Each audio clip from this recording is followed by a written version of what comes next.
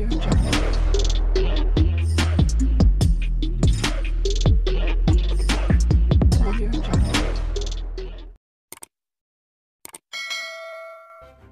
kasih karena memilih channel ini. Sebelum kita mulakan video ini, sila pertimbangkan untuk menekan butang like, share, dan subscribe dan aktifkan butang lonceng Anda agar Anda sentiasa mendapat info-info percuma pada setiap hari dari channel kami. Dan tinggalkan komen Anda karena komen Anda amatlah dihargai. Terima kasih. Jentera Barisan Nasional BN akan terus membantu calon perpaduan bagi memastikan kemenangan berpihak kepada mereka pada pilihan raya kecil PRK Dewan Undangan Negeri Dun Kuala Kubu Baharu KKB. Ahli Majlis Tertinggi MKT AMNO Datuk Seri Ahmad Maslan berkata, untuk itu semua parti gabungan dalam kerajaan perpaduan perlu bersama-sama sehabis baik dalam menjayakan misi berkenaan. Menurut Ahmad, beliau berharap MCA akan menyertai kempen bersama Pakatan Harapan PH bagi membantu calon sepanjang kempen berlangsung selama dua minggu. Kami, AMNO dan BN akan berusaha bersungguh-sungguh untuk memastikan calon perpaduan menang dalam PRK ini. Rakan-rakan kami dalam PH telah membantu kemenangan kami di Dun Pelangai dan ini masa yang kita perlu tolong calon di tempat ini. Jadi, ini kalilah dulu kita tidak menjadi kawan, kini sudah menjadi kawan. Katanya ketika menyampaikan ucapan bersempena pengumuman calon perpaduan di Pusat Hikmat Adun Kuala Kubu Baru di sini pada Rabu. Terdahulu pada pengumuman itu, Setiausaha Akbar kepada Menteri Perumahan dan Kerajaan Tempatan Ngakorming Pang Sok Tau diumumkan sebagai calon perpaduan. Sebelum ini, Suruhanjaya Pilihan Raya SPR menetapkan hari pengundian PRK Dun Kuala Kubu Baharu Selangor pada 11 Mei ini. Pengerusinya Tan Sri Abdul Ghani Saleh berkata, tarikh penamaan calon dan pengundian awal PRK berkenaan masing-masing ditetapkan pada 27 April dan 7 Mei. Kerusidun itu kosong susulan kematian Ki Hyong pada 21 Mac lepas. Mengulas lanjut, Ahmad berkata, Ketua dan pimpinan parti perlu menggunakan kebijaksanaan serta pengalaman sedia ada sepanjang tempo berkenaan. Ujarnya dengan menggunakan strategi yang baik, mereka mampu mengekalkan kerusi PH di kawasan tersebut. Kami datang membawa perjuangan rakyat dan pengundi di Kuala Kubu Baharu. Jika kita mahu kekalkan Kuala Kubu Baharu menjadi penghubung antara kerajaan negeri dan pusat, tiada pilihan lain selain memenangkan calon di kawasan ini katanya. Jentera Barisan Nasional BN akan terus membantu calon perpaduan bagi memastikan kemenangan berpihak kepada mereka pada pilihan raya kecil PRK Dewan Undangan Negeri Dun Kuala Kubu Baharu KKB. Ahli Majlis Tertinggi MKT AMNO Datuk Seri Ahmad Maslan berkata, untuk itu semua parti gabungan dalam kerajaan perpaduan perlu bersama-sama sehabis baik dalam menjayakan misi berkenaan. Menurut Ahmad, beliau berharap MCA akan menyertai kempen bersama Pakatan Harapan PH bagi membantu calon sepanjang kempen berlangsung selama dua minggu. Kami, AMNO dan BN akan berusaha bersungguh-sungguh untuk memastikan calon perpaduan menang dalam PRK ini. Rakan-rakan kami dalam PH telah membantu kemenangan kami di Dun Pelangai dan ini masa yang kita perlu tolong calon di tempat ini.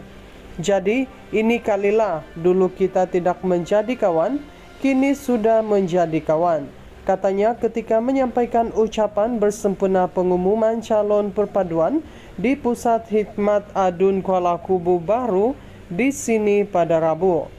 Terdahulu pada pengumuman itu, Setiausaha Akbar kepada Menteri Perumahan dan Kerajaan Tempatan Ngakorming Pang Sok Tau diumumkan sebagai calon perpaduan. Sebelum ini, Suruhanjaya Pilihan Raya SPR menetapkan hari pengundian PRK Dun Kuala Kubu Baharu Selangor pada 11 Mei ini. Pengerusinya Tan Sri Abdul Ghani Saleh berkata, tarikh penamaan calon dan pengundian awal PRK berkenaan masing-masing ditetapkan pada 27 April dan 7 Mei. Kerusidun itu kosong susulan kematian Ki Hyong pada 21 Mac lepas. Mengulas lanjut, Ahmad berkata, Ketua dan pimpinan parti perlu menggunakan kebijaksanaan serta pengalaman sedia ada sepanjang tempo berkenaan. Ujarnya dengan menggunakan strategi yang baik, mereka mampu mengekalkan kerusi PH di kawasan tersebut. Kami datang membawa perjuangan rakyat dan pengundi di Kuala Kubu Baharu. Jika kita mahu kekalkan Kuala Kubu Baharu menjadi penghubung antara kerajaan negeri dan pusat, tiada pilihan lain selain memenangkan calon di kawasan ini katanya. Jentera Barisan Nasional BN akan terus membantu calon perpaduan bagi memastikan kemenangan berpihak kepada mereka pada pilihan raya kecil PRK Dewan Undangan Negeri Dun Kuala Kubu Baharu KKB. Ahli Majlis Tertinggi MKT AMNO Datuk Seri Ahmad Maslan berkata, untuk itu semua parti gabungan dalam kerajaan perpaduan perlu bersama-sama sehabis baik dalam menjayakan misi berkenaan. Menurut Ahmad, beliau berharap MCA akan menyertai kempen bersama Pakatan Harapan PH bagi membantu calon sepanjang kempen berlangsung selama dua minggu. Kami AMNO dan BN akan berusaha bersungguh-sungguh untuk memastikan calon perpaduan menang dalam PRK ini. Rakan-rakan kami dalam PH telah membantu kemenangan kami di Dun Pelangai dan ini masa yang kita perlu tolong calon di tempat ini.